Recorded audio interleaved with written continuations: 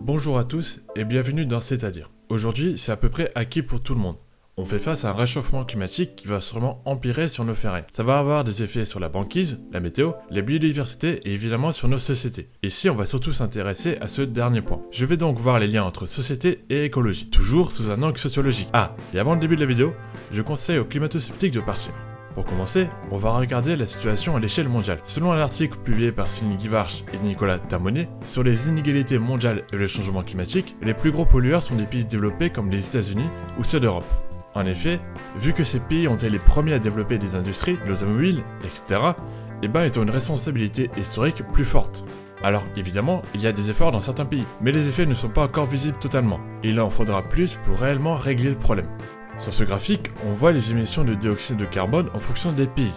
Tu peux voir que la Chine, les États-Unis et l'Europe sont les plus gros pollueurs. Il faut souligner que même si là on ne parle surtout que de pays riches, la plupart des pays du monde polluent beaucoup. Ici on constate juste que les pays développés sont ceux qui polluent le plus en général. Dans l'article de Givarch et de Tamonet, il montre aussi que les pays qui vont le plus souffrir du réchauffement climatique sont les pays du Sud. Sur cette carte, on voit la vulnérabilité des pays.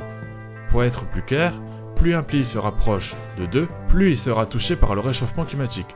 Déjà, on constate que l'ensemble des pays du monde seront touchés. Mais ce sont surtout des pays d'Amérique centrale, d'Afrique et d'Asie du Sud qui seront les plus affectés. Des phénomènes climatiques extrêmes et jamais observés verront le jour. Sécheresse, pluies diluviennes, prolifération de nuisibles, etc. auront d'importants dégâts sur l'agriculture, le commerce et la vie des habitants en général. Dans l'actualité, on peut déjà voir les effets. De nombreux pays d'Afrique de l'Est font face à un essaim de criquet qui fait la taille du Luxembourg. Une nuée de cette taille, c'est du jamais vu. C'est lié à d'importantes pluies en automne qui sont inhabituelles, sûrement liées au dérèglement climatique. Cet essaim s'attaque aux plantations des agriculteurs.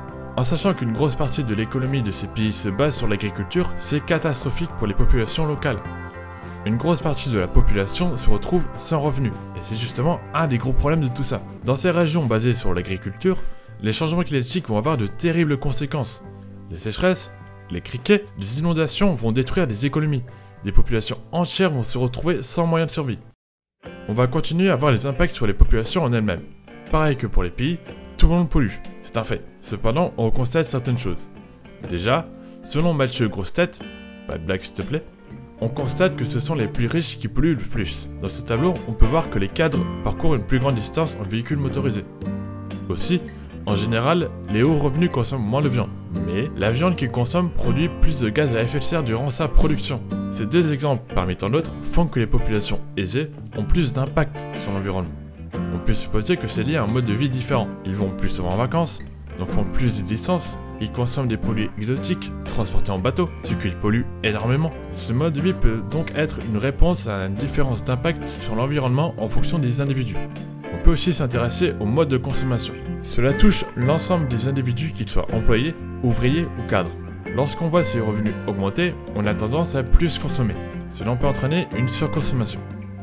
On achète plus, donc on pollue plus. On peut aussi prendre le problème dans l'autre sens. La hausse des revenus n'est pas le problème mais plus la surconsommation.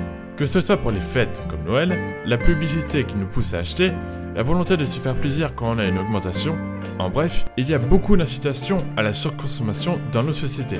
Tout le monde pollue, mais tout le monde ne va pas être touché de la même façon. En France et ailleurs, les populations avec des moyens économiques faibles auront du mal à faire face aux crises.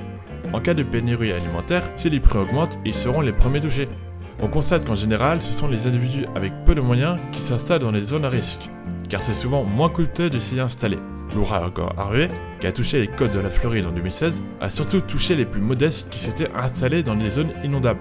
La vulnérabilité des plus pauvres est souvent liée à leur capital économique faible. Ils ont peu ou pas d'économie.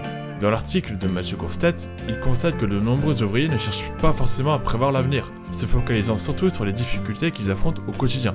Aussi, selon les pays, les aides de l'État peuvent être faibles. Dans les pays fortement libéraux comme les États-Unis, il y a souvent peu d'institutions qui peuvent aider lors de catastrophes naturelles.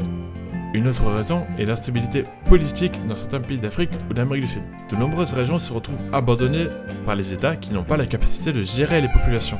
Pour conclure, le réchauffement climatique est le témoin des inégalités socio-économiques. Plus que ça, le dérèglement climatique va être un facteur d'accroissement des inégalités dans nos sociétés.